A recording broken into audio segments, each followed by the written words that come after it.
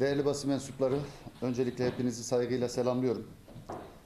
Dün akşam e, mecliste gerçekten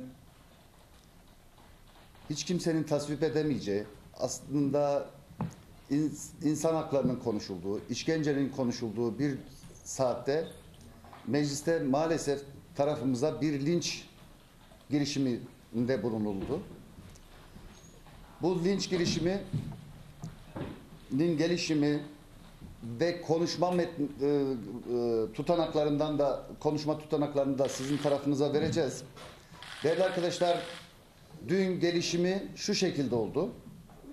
Ben madde üzerine söz aldığımda özellikle Uluslararası Af Örgütü'nün Afrin'le ilgili sivillerin yaşamının tehlike altında olduğunu ve her iki tarafında yani hem silahlı kuvvetlerinden yoksul aile çocuklarının hem de orada sivil insanların yaşamlarının tehlike altında olduğunu ifade ettim.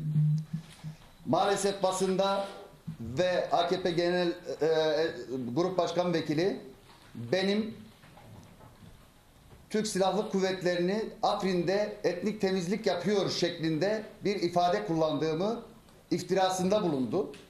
Benim kullandığım ifade şudur. Değerli arkadaşlar, diyorum ki Afrin'de Kürtler bin yıldır vardı ve burada yoğunluklu olarak yaşıyorlar. Kürtlerin yanında Çerkesler, Türkmenler, Araplar gibi diğer halklar da az oranda vardır. Ve yine hükümetin iddiası Türkiye'deki mültecilerden önemli bir kısmını oraya yerleştireceği, oraya göndereceği ifadesin ifade ediliyor.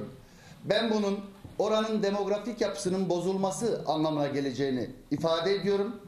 Oranın demografik yapısının bozulmasının da etnik temizlik olarak değerlendirilebileceği bu anlama geleceğini ifade ediyorum. Yoksa doğrudan Türk askeri orada bir etnik temizlik yapıyor gibi bir cümle asla kullanmadım. Değerli arkadaşlar hepimiz biliyoruz bir savaşın olduğu yerde sivillerin yaşamı tehlikededir ve bunu ifade etmek mecliste ifade etmeyeceksek, mecliste bu sorunları kullanmayacaksak, tartışmayacaksak nereden ta- nerede tartışacağız? Biz orada sözümüzü söyledik ama maalesef şiddete maruz kaldık. İşkenceye maruz kaldık.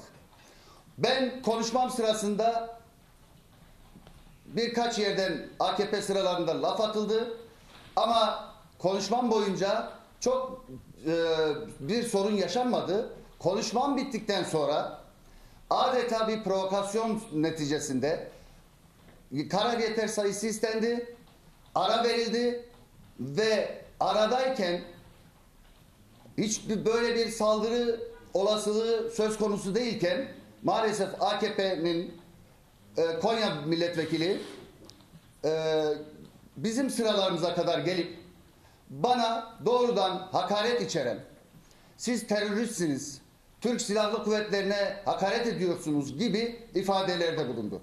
Ben de dönüp kendisine sayın vekilim burası bu meseleleri ayaküstü konuşacak yer değil.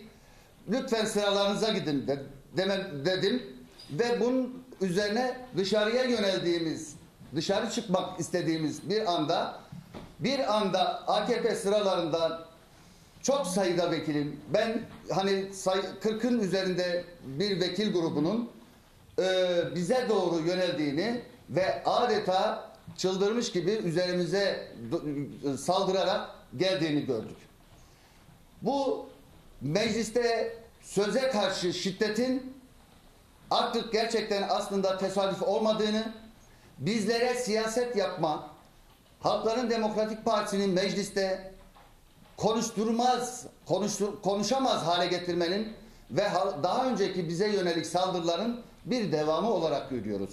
Biz Halkların Demokratik Partisi olarak orada muhalefetimizi yapıyoruz ve vakur bir duruşla sorunları dile getiriyoruz.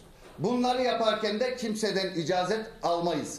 Ama asla bir hakareti, asla bir şiddeti, asla bir eee, başka bir e, olumsuzluğu orada ifade etmedik.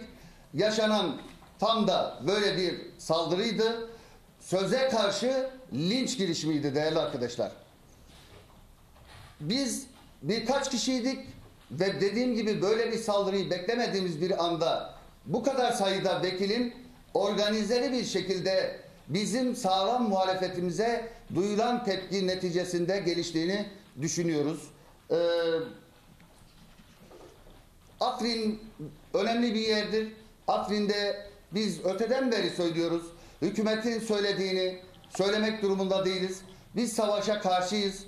Hem orada ölen Türk askerinin yoksul halk çocukları olduğunu, ölmemesi gerektiğini açık bir şekilde bakın konuşmamda da söylemişim. Örneğin o kısmı is- is- okumak isterim değerli arkadaşlar. Türkiye ve Suriye toplumu savaşın yarattığı bütün insani acıların acıları her gün her an yaşıyor. İktidarını sürdürmek isteyenler sebebiyle her iki taraftan da gencecik insanlar hayatlarını kaybediyor. Sadece bir seferde olmak üzere Keltepe bölgesinde 8 Türk Silahlı Kuvvetleri mensubunun hayatını yitirmesi, onlarcasının yaralanması bu savaşın görünen sonuçlarından sadece bir tanesidir demişiz. Yani bu bir tarafı suçlamak değil, orada gerçekten iki taraftan da hem yoksul Türk çocuk, Türkiye ço- halk- Türkiye halklarının çocukları hem de orada sivillerin yaşamını e, tehdit eden bir durumun var olduğunu bunu biz de söylemiyoruz. Ben konuşmamda Uluslararası Af Örgütü'nün e, Orta Doğu Direktörü Lynn Maroff'un raporundan okudum. Kendim bir iddiada bulunmadım. O rapordaki iddiaları orada dile getirdim. Ee, yaşanan gerçekten bir linçtir, yaşanan bir işkencedir.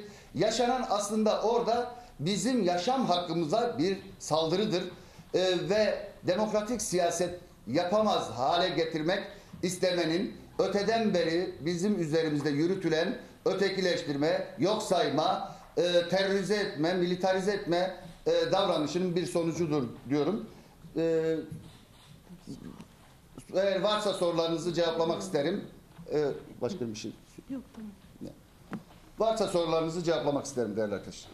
Ben başlık açılma ama şu anki durumunuzla ilgili bilir misiniz? Ha, evet. Evet. rapor aldınız mı? 45. Değerli arkadaşlar ben e, olaydan hemen sonra çok ciddi darp edildik. E, revire gittim. Sonra da hastaneye gittim. Maalesef sol omuz e, ne kemiğimizdi? Kürek. Kürek kemiğimde bir kırık var. 45 gün rapor aldım. Yine baldır kemiğimde, yine göz önümde e, ciddi darp izleri var. E, bunlar doktor raporuyla da sabittir. Ma dediğim gibi aslında gerçekten yaşatılmak istenen orada bir linç girişimiydi. Biz karşı bir tavırın bile içine girmedik. Sadece kendimizi korumak istedik. E, ama e, yaşanan maalesef bu. E, bir omuz kırıl, kırığı ve e, dediğim gibi böyle bir çe- çeşitli darplar e, doktor raporuyla da sabittir. Teşekkür ediyorum. Darp edenlerle ilgili herhangi bir şey yapılacak mısınız? Yani yasal e, tabii ki bunu e, partimiz, yetkili organlarımız, e, hukuk komisyonumuz e, bunu e, suç duyurusunda bulunacaktır ve e, bununla ilgili gerekli girişimlerde bulunacağız.